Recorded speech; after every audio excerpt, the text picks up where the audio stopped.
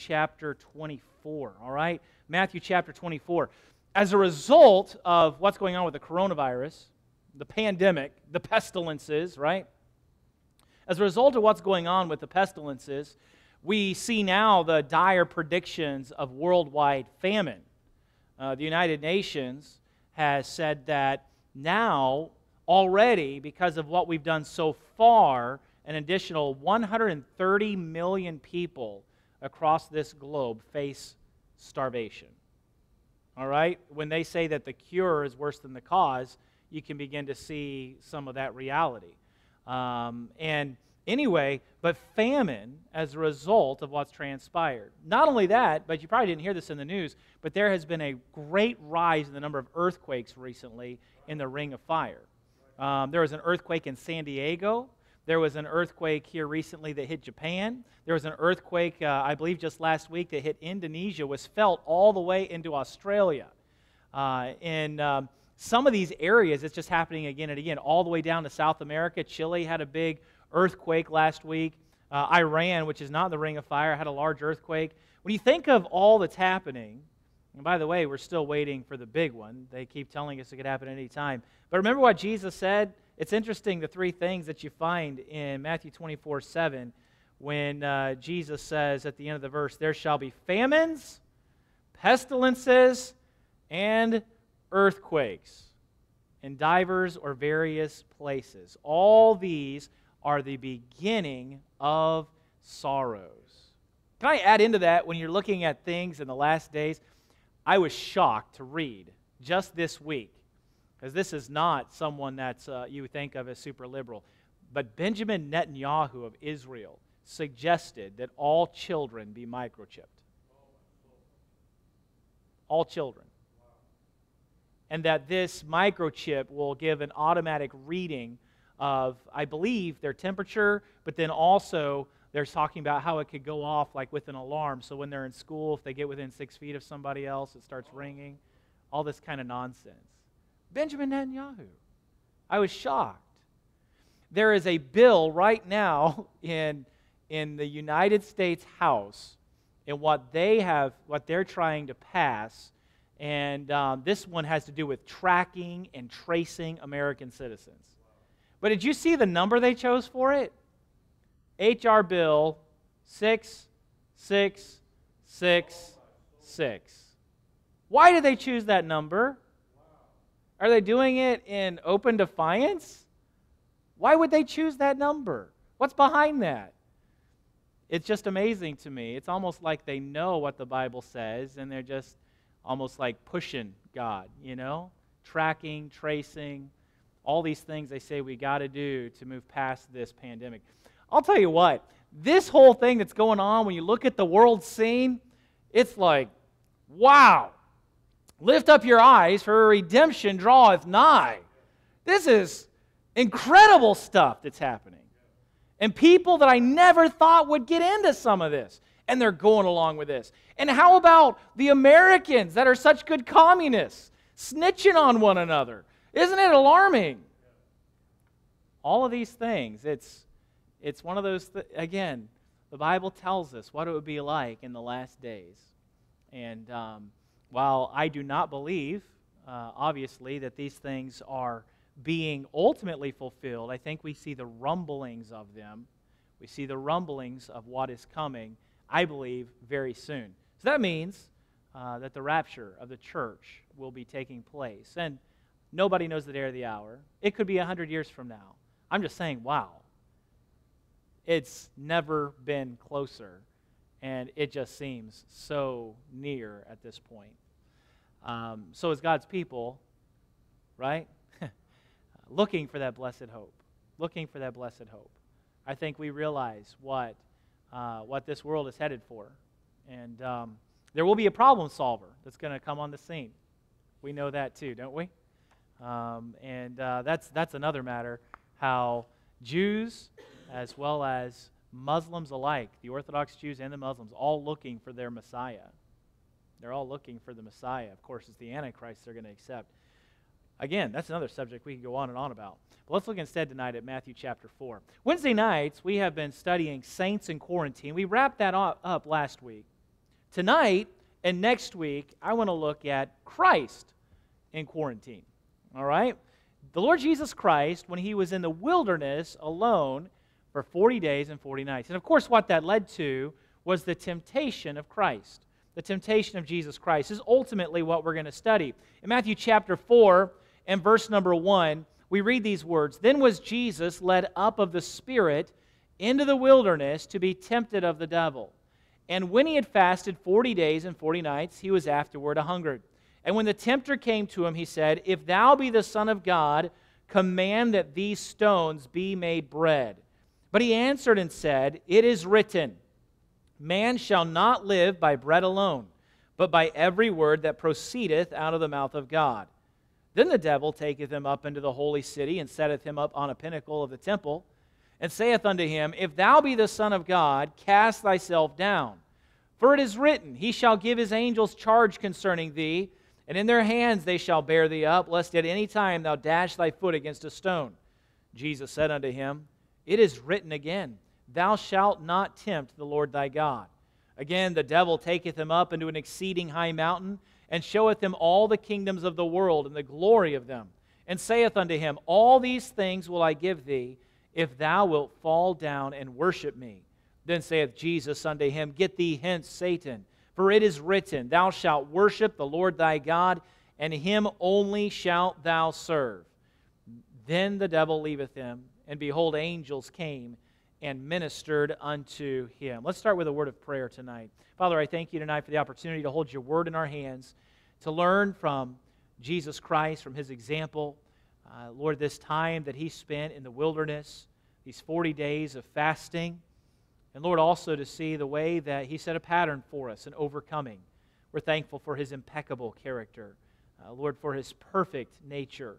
And uh, Lord, we're thankful that as a result, we have a, a great high priest who is touched by the feelings of our infirmities and, and uh, the one who is perfect and can, can fulfill that role of the high priest before you. Father, we're thankful for for all these truths. I pray that tonight you would help us center our thoughts and affections on thee. We pray in Jesus' name. Amen. Got three simple thoughts tonight as we look at this passage in Matthew chapter number 4. And it all starts with a declaration. And that's the first point tonight a declaration. And really, the understanding of chapter 4 and what Satan is doing goes back into chapter 3. Remember the Gospel of Matthew? It pre- presents Jesus Christ as the king, in particular, the king of the Jews. And so the genealogy traces the, uh, the line of Jesus Christ back, giving his, uh, his right to the throne uh, as king of the Jews. We see the wise men who came, and uh, there they asked, What? Where is he that is born king of the Jews? Right? We see all of this. And then in Matthew chapter number 3, we see the baptism of Jesus Christ. And as Jesus is baptized and his ministry on earth is about to begin, the Father makes a declaration in verse number 17. It says, Lo, a voice from heaven saying, This is my beloved Son, in whom I am well pleased. This is my beloved Son, in whom I am well pleased. The declaration of the Father, as Jesus Christ comes up from that water after his baptism. This is the Son of God. Now, in light of that, we notice Satan's words because he begins in verse number three. What does he say? Look at what Satan's first words are here to Jesus. If thou be the Son of God. Notice again in verse number six. If thou be the Son of God. So we notice here that the devil, in the first two temptations that he gives, is directly challenging what the Father had declared. And so all of this temptation is coming about as a result of the declaration of the Father. There are numerous truths we can glean from an overview of this passage and uh, even before we get into some of the specific things. And that's what we're going to look at tonight is not so much the specific temptations, but more of, of an overview of the whole temptation of Christ. One of the things that we glean in this passage and we can see is the doctrine of the Trinity. We see it at the baptism of Jesus Christ in chapter number 3. Of course, it's Jesus himself being baptized. In verse 16, it says, Lo, the heavens were opened unto him, and he saw the Spirit of God descending on him like a dove and lighting upon him. And of course, then the Father, the voice from heaven saying, This is my beloved Son, in whom I am well pleased. We also see then in chapter 4, verse 1 then Jesus, then was Jesus led up of the Spirit. And so, again and again through this passage, we see the Trinity.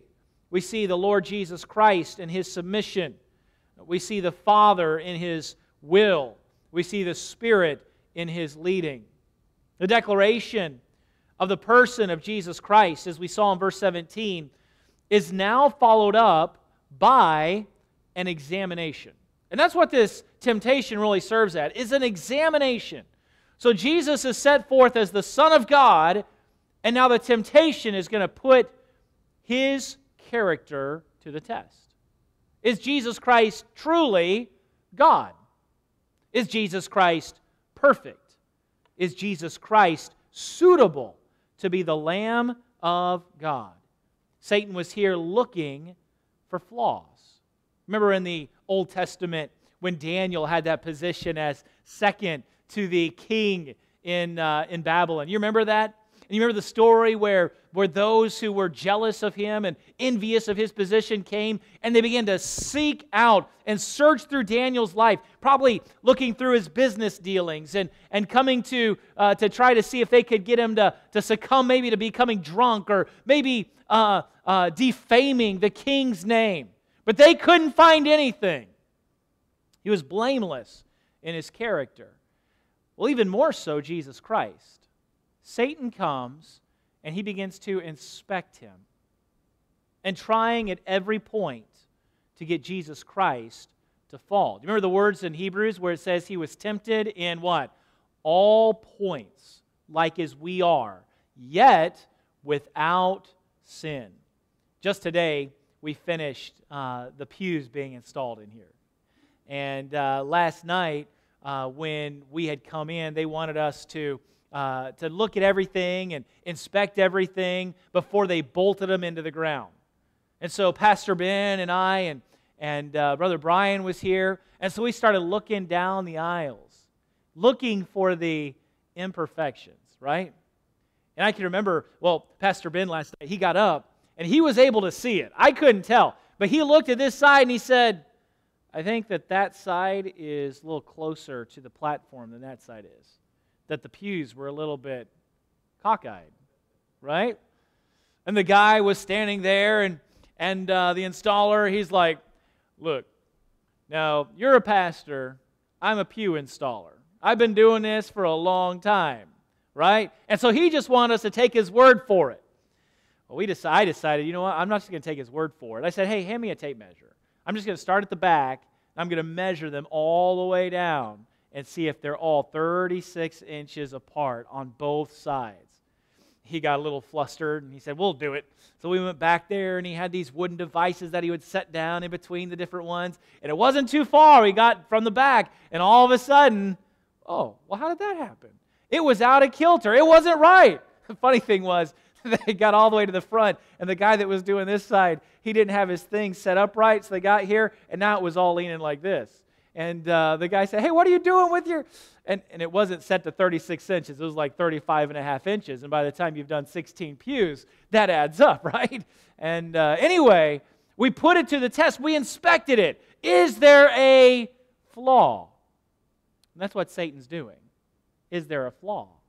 But the Father's will was that Jesus Christ would shine forth. There is no flaw. He is perfect. Perfect. He is God in the flesh, and therefore he is suitable as the Lamb of God. Perfectly suitable. What do we know about a lamb before it could be sacrificed? What was it, the requirement? It was, it must be spotless, without blemish. And so Jesus Christ must be without blemish. He must be perfect in his holiness. And he is. And so he was suitable as our sin bearer, holy, blameless, without spot, the very Lamb of God. So then the declaration of the Father in verse 17 of chapter 3 is getting put to the test in chapter number 4. We also see that Jesus Christ was, notice verse 1, led up of the Spirit. It wasn't just Satan's doing, this was of the Father's plan that Jesus be tested, that he be put to the test. We know it simply in the verse, uh, verse 1, Jesus was led of the Spirit. If Jesus was led of the Spirit, how much more should we be? By the way, the Word of God teaches that the Holy Spirit leads God's children. Romans chapter number 8, it says, As many as are led by the Spirit of God, they are the sons of God. That's one of the privileges that we have as a child of God, to be led by the Holy Spirit. He's our guide, He's our teacher, He's our comforter, He's the one who empowers us in our witness. He's also one who leads us. And that's what you find through the book of Acts as well. But Jesus was led of the Spirit. And again, the Spirit led Jesus into the wilderness. Notice, to be tempted. Led him into the wilderness to be tempted. Now, the temptation was not from the Father nor from the Spirit, but was permitted and used of God to show forth the character of Jesus Christ. Remember the story of Job, where Satan came and he wanted to tempt Job. He couldn't do it of his own volition, he had to get permission from God. And God gave him that permission. And he put Job to the test. We also noticed in this passage, and, or just a reminder in the Word of God, God doesn't tempt us to sin, but He does allow the temptation as an opportunity to bring out our true character. Furthermore, we read in 1 Corinthians chapter 10 that when a temptation comes, God is faithful and will always provide a way to escape. That's His promise. God never promises that we won't face temptation. Now, some of the temptations we face are because we're acting like fools. All right? If we're living in the flesh, then we're going to have temptation. But even those walking in the Spirit, even those being led by the Spirit, as we see here in Matthew chapter 4, will face temptation. The Bible says every man is tempted, right? That's not sin to be tempted. The sin is to act on the temptation. Jesus Christ was tempted, but Jesus Christ could not and did not sin. Second thing that I have us to note in this passage is not just the declaration, but as an overview, we notice also the devil. We see, we see three different names given for him in this passage. Of course, devil uh, is one that's used the most prevalently, as it says in verse number 5. But notice the first way that he's referred to in verse 3 when the tempter came to him. He's the tempter. Not only that, but we also find in verse number 10 Jesus' uh, statement to him and addressing his name Satan, our adversary. So we see his name, we see his character. We also see in this passage that the temptation was not left to just any fallen angel. Rather, Satan himself was going to put Jesus to the test. Who was it that came to Adam and Eve in the garden? It wasn't any of the devil's minions, was it? It was he himself. Adam was the perfect representative of the human race. I would dare say that Adam was the smartest man, the strongest man, the best man as far as men go. He was the crowning achievement, so to speak, of God's creation. It was Adam. I believe wiser than Solomon. Who named all the animals? Adam did. I believe stronger than Samson. Adam. The best that mankind had to offer. But Satan had no trouble finding Adam's weakness, did he? He knew exactly where it was. He knew it was in his wife. And he knew he could get to Adam through Eve. Adam willfully chose to partake of the fruit when Eve offered it to him. Satan won against the first Adam. Now he turns his attention to, with a writer of 1 Corinthians, the Apostle Paul calls the second Adam. But there was a difference this time, and that's this Jesus was not only the perfect man, he was God. He was God in the flesh. Notice in the test that Satan brings the timing of the test. Look what, what happens. Jesus is fasting, and of course, the temptation doesn't come until we read the words in verse 2 When he'd fasted 40 days and 40 nights, he was afterward a hungered. I, in, in my own experiences, I know that there's a, a certain point that you get in a fast where you stop being hungry. You stop being hungry. And my understanding is that the human body can take about 40 days of fasting, and that's the limit. So Jesus went to the limit as far as what a human body can endure. And that's when that hunger would really strike, and Satan knew it. And so the timing of his temptation, you think that he knows when we are most vulnerable? Of course he does. He knows when to time the temptations that we face. Not only that, but notice in his temptation how he twists things. Notice in that second, in that second question that uh, Satan offers, that second temptation, verse 6 If thou be the Son of God, cast thyself down. Notice, for it is written, He shall give his angels charge concerning thee, and in their hands they shall bear thee up, lest at any time thou dash thy foot against a stone. Do you see what happens here with Satan? This is what he's good at. He twists the Word of God. He quoted Bible to Jesus in the midst of the temptation. He attempts to get people to believe that God's Word contradicts itself and that it contradicts what the Father has said. He'll fight against clear scriptural admonitions with other scriptures, always twisting and distorting them. Here's an example I've, I've, I've heard it before, and unfortunately, in my past, I've used it before. Blow up, say some things, do some things in anger. Right? Conviction comes. Conviction comes, and what do we do? Well, Jesus exercised anger when he drove out the changers, the money changers in the temple, right? What are we doing? We're falling to Satan's temptation. We're twisting and distorting Scripture to what? To justify ourselves. That's right. And that's what Satan was trying to do with Jesus. Don't fall for it. Don't fall for it. By the way, I doubt that anybody else around me thought that my anger was justified. And that's probably one of the better tests of it. And by the way, even if people thought it was justified, would God, the righteous judge, think it was justified? By the way, that's not the only way. Here's a common one in our society Judge not that you be not judged. by the way, I don't hear that a whole lot anymore, right?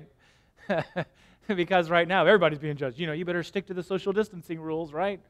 I'm going to call and snitch on you, right? No more judge not lest ye be judged. That's what our society likes. They like to take it and twist it and distort it. So now, you know, you can't tell somebody that that's sin. Hey, that, that relationship you're in, that's sin. That's adultery. That's fornication. Judge not. Isn't it funny? Would, would anybody ever say that as imagine you pull up to the stop sign and you're about to go and I just fly through without ever stopping. And you say, "Hey, what are you doing? You can't do that." Judge not. That's what our society's doing. That's the same thing. God gave the law. He said, don't go past, stop. People do it. And then they cry out, judge not, when everybody knows they flew through the stop sign, right? Not just that. Satan's good at this one, too. God is love. Stop hating. As though God just accepts everything. As though that verse in Scripture that charity or love rejoices not in iniquity but rejoices in the truth doesn't exist. Or the fact that God is holy and all of God's Word is holy and pure and the righteous standard. As though somehow God can't be love and at the same time be judge, which He is. You see, Satan tries to pit God's attributes against himself. And then there's this beauty you hear this one from people who call themselves Christians I worship God, not the Bible. I worship God, not the Bible. I always ask, who is God? Well, you know, the God of the Bible.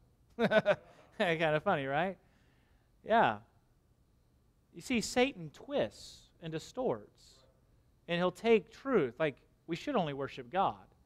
It's a lie that we're worshiping the Bible when we're doing what God says. You can't worship God without doing what God says. It's not worshiping the Bible, that's true worship of God.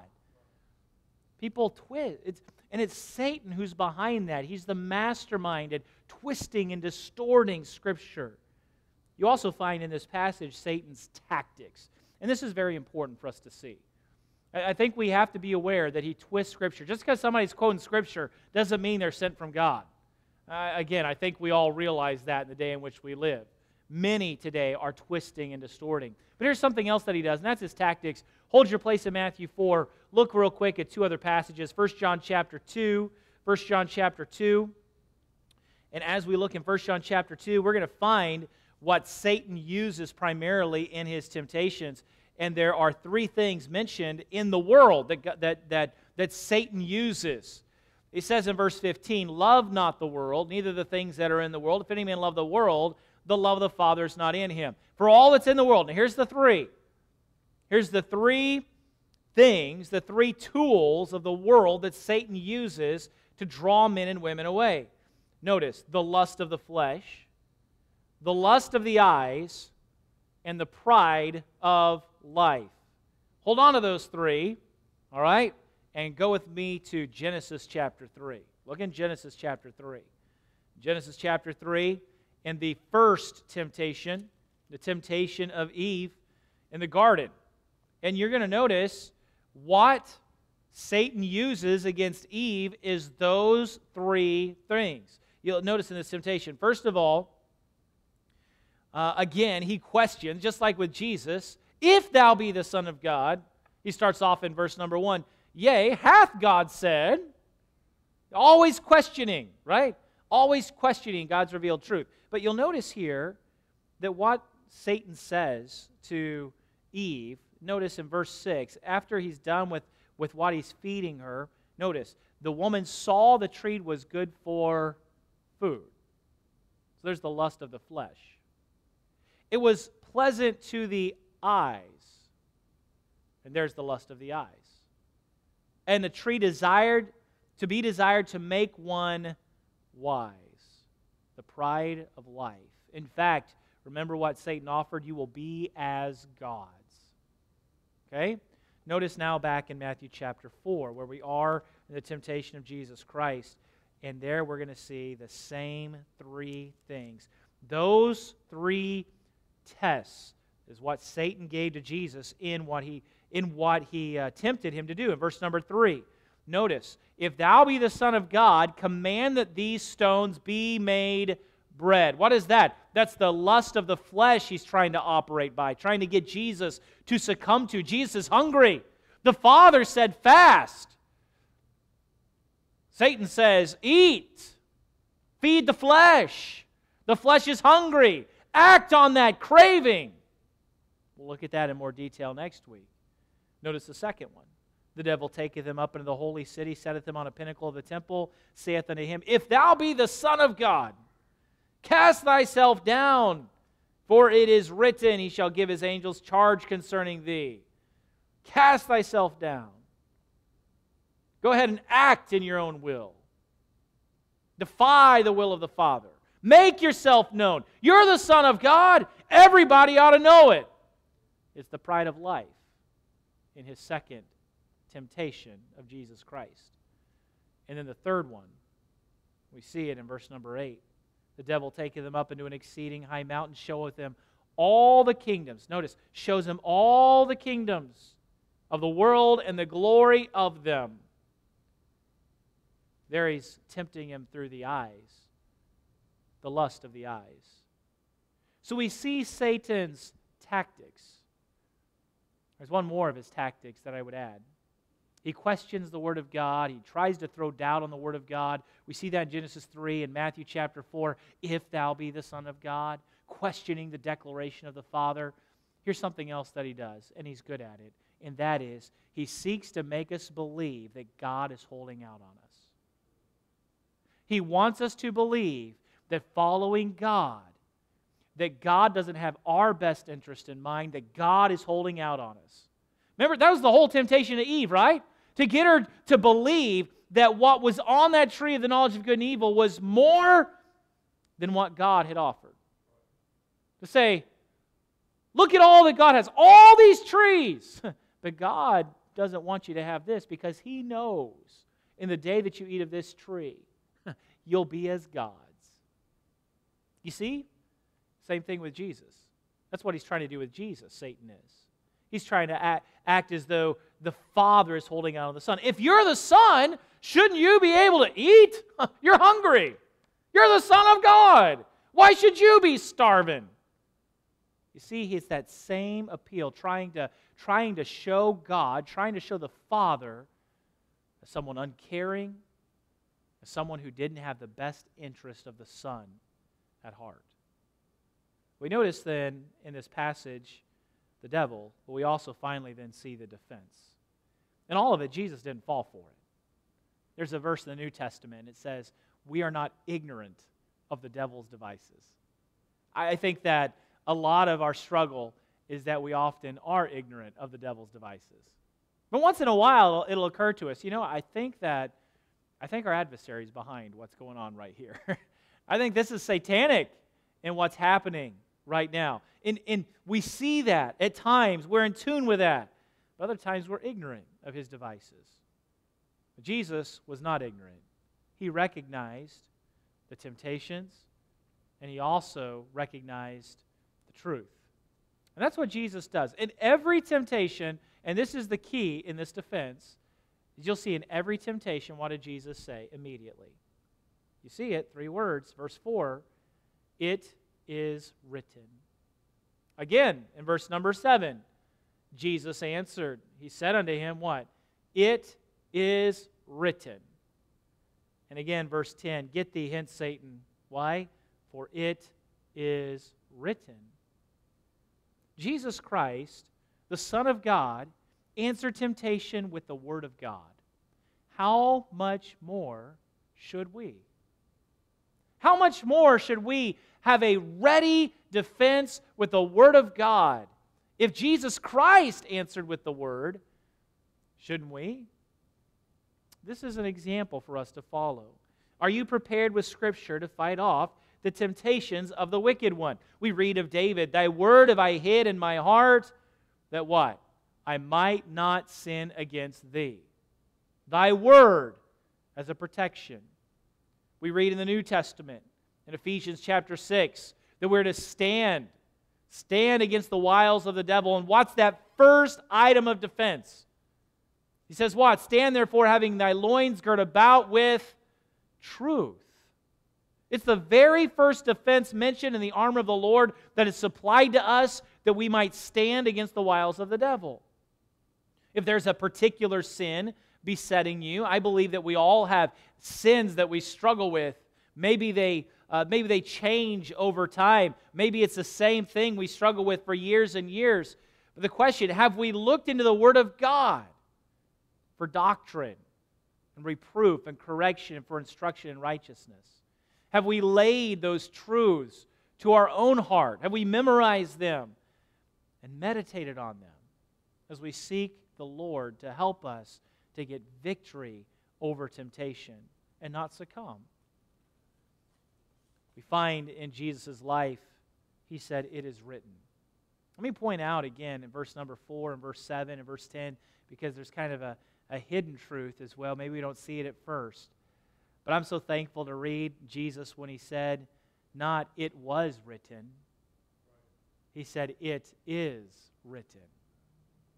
Even though he's quoting from the law, written 1500 years before his time right now in the, in the wilderness. He didn't say it was written, he said it is written. You see, God inspired his word, and that's great. But you know what else is very important, and that is God would preserve his word. The word of God says, Forever, O Lord, thy word is settled in heaven. Thy faithfulness is unto all generations. Jesus himself said, Not one jot or tittle would pass away until all be fulfilled. And so in his day, he could say, it's still got the same authority, it's still the same truth, it's unaltered. It is written because it is the Word of God, the living Word of God. So, this must be where we resort and meditate and memorize if we would be successful against temptation. What you see of Jesus Christ in this passage, we, we learn that he was tested to reveal his character, and his character was spotless. He was tested by the tempter himself, Satan, the devil, our adversary. That wicked one comes and tries all of his tactics, the same ones that he tests us with day after day the lust of the flesh, the lust of the eyes, the pride of life, twisting and distorting Scripture, trying to give justification for sin, attempting to make the Father appear unreasonable and unkind and, and uncaring. You know, he does the same thing with you and I, right? Will you stand? Are you standing against the wiles of the devil? We need, like Jesus, to answer with truth and gird ourselves with truth and respond until, even as we see in verse 10, get thee hence, Satan. The Bible says in the New Testament, submit yourself to God, resist the devil, and he will flee from you. There is an expiration date to that temptation. Submit to God. That comes first. Resist the devil, and he'll flee from you. We see it in the case of Jesus Christ. It says the devil leaveth him in verse number 11. Boy, that's a wonderful truth. There's a time of refreshing. The temptation was past. Jesus stood, and praise God he did, because all of our redemption depends on the fact that Jesus Christ was the perfect, spotless Lamb of God. Essential.